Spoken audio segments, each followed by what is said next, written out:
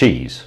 At one point in time in the distant past of like a year ago, I applied to the Capcom Creator Program because I really enjoy their games. I have since changed stances on their creator program and I'm reasonably certain that they sacrificed babies to some kind of elder god to receive the list of microtransactions that they have to include in every game that they release. I am also positive, beyond a shadow of a doubt, that if this video does even marginally well, I am 100% going to be blacklisted from any kind of Capcom anything, especially if I keep joking that they eat babies. They probably don't eat babies, but I can't say for sure, and Capcom hasn't purchased my confidentiality DLC for $4.99 yet.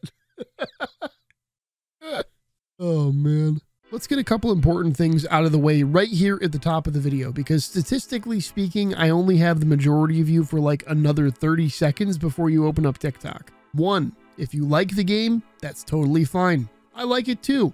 It's fun when it works, and you aren't going to get the death penalty for committing the crime of having fun. Two, if you are one of the people that keeps reeing about game reviewers, let me educate you for a second. First of all, they had no fucking clue about the microtransactions. They got jump scared just as hard as the rest of us. If you've never reviewed a game before it's been out with an embargo before, what typically happens is you get sent a beta branch key that you put into the settings of the Steam copy they send you, and that lets you into an early build of the game. However, everybody that has access to those beta branches sees the same Steam store page that the rest of us see. So right up until the game launched and all those fancy little $2 revive and teleport crystals showed up, all of the reviewers had no clue and obviously wouldn't talk about it in their review because as far as they were concerned, Dragon's Dogma 2 had no microtransactions. And if you're one of the people that are pissing themselves because these reviewers didn't complain about performance,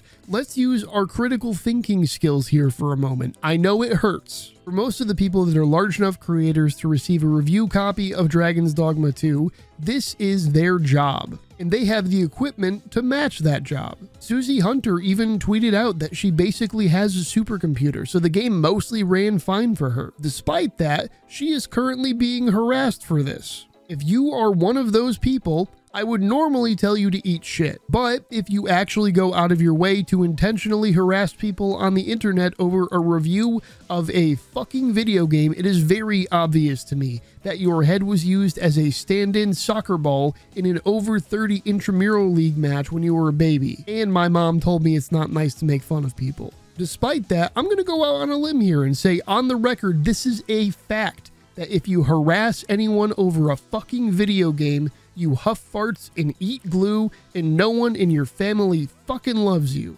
Hey, that rhymes. All right, are they gone? I imagine most of the people that felt called out by that are either calling me names in the comments or stopped listening the second they realized I'm not just an echo chamber for their opinion. So fuck them. Let's get into why Capcom sucks donkey dick, yeah? The third thing I wanted to get out of the way at the top of the video, but saved for now, was that we all need to be very certain that we don't accidentally blame the devs for this. I saved this point for now because if you're still listening, I would wager that you aren't the reactionary type. And when we all engage in conversation about this game, the distinction needs to be made very clear that the people who made the game and the people who are selling the game are very different. And I imagine the ones who actually worked on Dragon's Dogma 2 are fucking pissed right now. Imagine you work on a game for years, day in and day out, trying to make a sick ass game, and you succeed. It's super fun, and it's got tons of content worth doing. It just needs a little bit more time in the oven to finish cooking, but what's that? Uh-oh, you hear that? If you don't hear it, you damn well smell it because that's the stench of a recently graduated MBA from Stanford that thinks battle passes are fucking sick. The money guys in the upper management at Capcom are to blame here, through and through. This is a company failure, not a workforce failure. And if I see Capcom doing mass layoffs in a couple months, citing money troubles from a lack of DD2 sales, in a single goddamn executive gets a bonus, I think I am going to spontaneously combust. I know I'm making a lot of jokes in this video, but seriously, if this shit happens, I hope to God everyone responsible gets food poisoning forever. May your shits be many and your hoes few. You know, the morbidly funny thing to me about this whole situation, too, is that this is so, so far from the first time Capcom has done this. But you put one post on Reddit about a $3 charge to edit your character's appearance, and 40,000 upvotes later, your game is fucked, man. You'd think those MBA grads would realize that releasing a broken game or getting review bombed because you have some of the worst microtransactions known to man are both bigger income losses in the long run than, this is gonna sound crazy, I know, but that costs more than pushing the game's launch by two months for more QA and bug fixing fucking wild, right? And the worst part is that now a game that's actually super fun is to be forever marred like Cyberpunk and No Man's Sky, where no one can talk about them without being like, uh, well, it used to suck, but now it's fun. The writing has been on the wall with this shit for years, though. Dragon's Dogma 2 just happened to be the perfect storm. The Call of Duty kids haven't had a new game to piss their pants over for a little while, so they've directed their anger here, and for once, I think that's a good thing. Wake the fuck up, Capcom. You know what?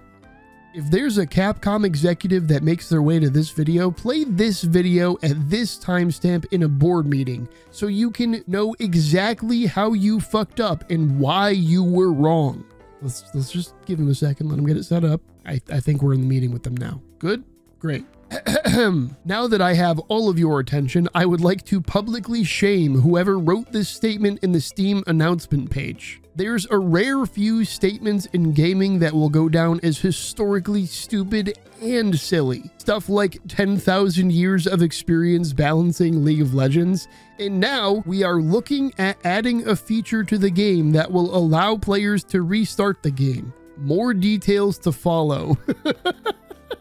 I mean, come on, man. Did no one think about any of this before you just full sent it? You built up so much community goodwill with the character creator, and even that has slots for multiple characters in pawns, but the main game doesn't? The 24 hour flip in public sentiment has to be historical, right? Like an all time high for hype to immediate outrage the board meeting might have shut me off by now, honestly. I've just been kind of making fun of them. Let's get to the point though. The game runs like shit. The game does not have to run like shit. You need to schedule in time for all future releases for more QA and bug fixing than you currently have, because a game that looks marginally better than Red Dead Redemption 2 that came out five years ago should not run a hundred times worse than Red Dead Redemption 2 that came out five years ago. Real talk for a second, graphics have not made that much of a jump. Games now do not look that much better than they used to, so what the fuck is going on with all these games running so bad? I mean, I loved Alan Wake 2, but that game ran like shit too. And I don't have a supercomputer, but I should be able to run most things on high on 1080p with my rig. There's very little in the way of excuses for this. It's just embarrassing. That's the big one though. That's the big takeaway from this. Make your game fucking run. I don't want to buy a car that breaks down all the time. You MBA fucksticks understand business, right? I do not want to buy a faulty product. I will instead look to other products within the industry. And let me tell you that immediately following Baldur's Gate 3's release last year, you are so far from having monopoly on the 100 hour fantasy RPG. Competition is fierce, and you did not bring your A game. Sorry, let me adjust that statement to be more accurate. The devs that made the game absolutely brought their A game, and then you fucked them over. Now, for a refresher course, let's run through some of the DLC for Capcom's recent games, yeah? Because if you thought Dragon's Dogma was rough, let's start with the most recent offender. Exoprimal has 40 fucking DLC options, and none of them are actual expansions or new content. There is the Battle Pass, and then 39 other options that are all either cosmetics or early unlocks, meaning you skip the grind. You know the part where you play the game? Yeah, you can pay money to skip that. This is where the CohhCarnage tweet comes into play because he makes a phenomenal point in it. The inherent implication with microtransactions that let you have things like revives, cosmetic changes, and the like is that there will be a need for you to get more of these things than you will have available to you without buying them. What I mean by this is that the mere existence of revive stones that you can pay real money for implies that there will not be enough for you in game, so they offer them on the store for real money. Wildly enough, this isn't the case in Dragon's Dogma 2. It's entirely the wrong game to have this monetization for. But I'm like 15 solid hours in, and I have an overabundance of all the things you can pay real money for. Like, even if you skip the people that are just not buying them on principle, no one's gonna buy them because you don't fucking need them in game, anyways. And now they have all this backlash for nothing. Now, with something like Exoprimal, the fact that there's an option for me to pay to skip content makes me think that the content was designed to make me want to skip it. Rather than making it worth playing, it makes me think the game was designed to push me to buy the skips instead of just playing the thing I already paid for. I don't even own Exoprimal, and I find it offensive that you think I would pay 7 United States dollars for a Monster Hunter skin in this fucking robot game. Street Fighter 6 is admittedly kind of a live service game, so I'll give it a pass to a degree with the character season pass, although it's so overpriced. But what is wild to me is the cosmetics for Street Fighter. Now, they got smart with this one and don't have 200 DLC packs on the Steam store page. Instead, you have to buy coins in game that never add up to the amount you need to buy stuff, so you end up buying more coins than necessary and paying more. Kind of like how old Call of Duty DLCs used to cost like 15 bucks worth of points, but Xbox only sold 10 and $20 increments. Just eat shit, man. Resi 4 Remake has a bunch of this shit too for some reason. You know, another single player game? They sell upgrade tickets, so you can skip the part where you play the game and have to make decisions about upgrading guns. $2.99 a pop and you don't have to think anymore. They sell them in packs of 1, 3, and 5 for your convenience. Monster Hunter is a mess with this too. Pretty much every Capcom game, regardless of what it is, has some form of this attached to it. Because at some point they tried to get away with it, and they did. And for some reason, the reputation hit is worth it for them financially, I guess, because they just keep doing it. That might be changing now, finally. Now, I can only speak from personal experience with this, but I'm one of the few people I know that put my wallet on the line with this game. Pretty much all my streamer friends are waiting until the performance is fixed and the price drops. And that's the sentiment I'm seeing from a lot of people on Steam, on Reddit, on Twitter, everywhere. People saying they want to buy the game eventually, though, isn't a promise. I don't think you can unfuck this in the short term. Star Wars Jedi Survivor had that launch snafu with like dog ass performance and still has mixed reviews. So, whatever the road back to good graces looks like for Capcom, it's a long road and it starts with the death of these stupid fucking microtransactions. If uh, somehow I'm still up on the screen at the Capcom board meeting, I would like to point you to the only game that ever has truly done microtransaction things well, and that's Deep Rock Galactic. Rock and Stone! Every single one of their DLCs are just skins. They are marked as non essential supporter editions for people who just want to give the devs more money. And no, I am neither exaggerating nor kidding about that. Come to think of it, they have battle passes too. Free battle passes. And there's no FOMO because if you miss out on the stuff in the past, when a new season rolls around, all the stuff in the old battle passes goes into the random loot table. So you can just find it while you play the game. It is amazing to me that this still hasn't clicked, but since it's obvious there's some very thick skulls over at Capcom, I'll even make a checklist for you. The following criteria has to be met for microtransactions to not piss people off. It has to be genuine content added to the game, like an expansion or a map pack, not a season pass and a promise of content in the future.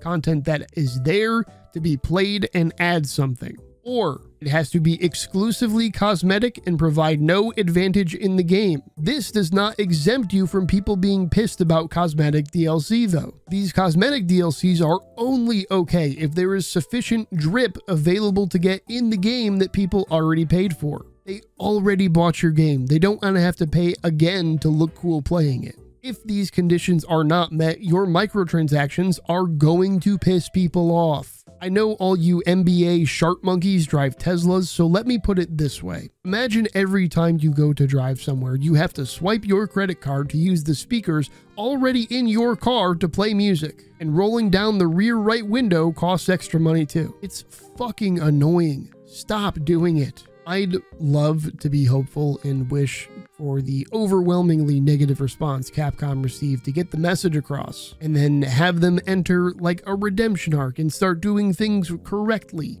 But that's not realistic. What's probably going to happen is a bunch of people that did nothing wrong are going to get laid off they're going to double down, and their next game is going to be a mobile app where you unlock letters to spell out a secret message for a buck 99 a letter. And the message, once you've bought all the DLC to see it, just spells out "fuck you" in all caps. Swen from Larian Studios hit the nail on the head a couple days ago in an interview where he said corporate greed is ruining the games industry. He's right. The Corpo Weasels are doing their best to make everything suck. And even though AA and indie games are safe for now, don't think for a second that they won't worm their way down the ladder over time. It's a slippery slope we're on, and unless something changes soon, it's only down from here. It makes me very sad that if Capcom hadn't been so greedy and if they just pushed the game a couple months, this would have been a Game of the Year contender. I mean, seriously, if the game ran well, it would be a shoe in for top five this year. There's so much cool shit to do. I've ridden a griffin up into the sky. I've had trolls fighting dragons. Like, it's very clear Capcom took some really great notes with how Monster Hunter plays, with the way you can mount shit and stagger it all.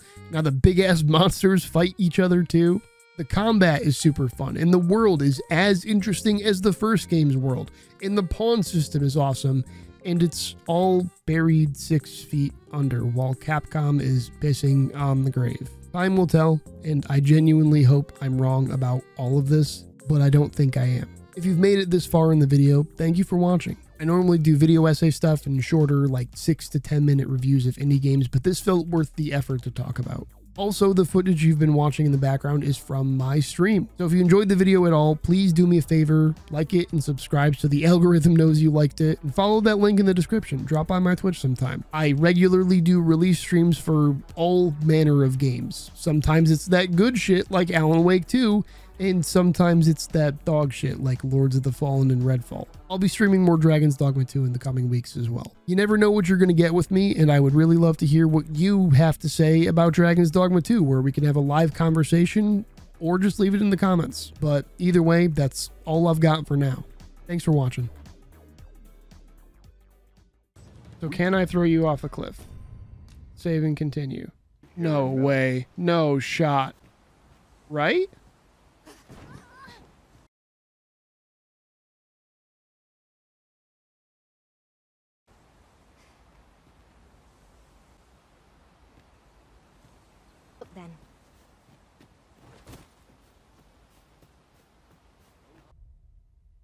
Gonna Alt F4